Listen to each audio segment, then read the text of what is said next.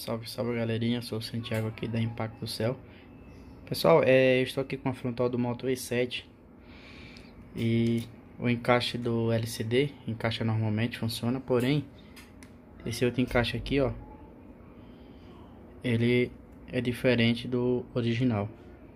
Então, ó Ele não encaixa. A gente vai estar tá fazendo a substituição para resolver o problema, pois eu não encontrei a frontal que vem com o mesmo encaixe. Então fica a dica aí para vocês.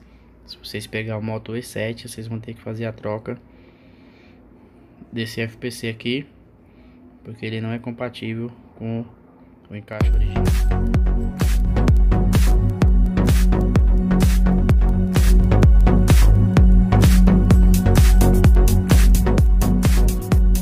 trocado e agora vamos encaixar na placa e vamos ver o resultado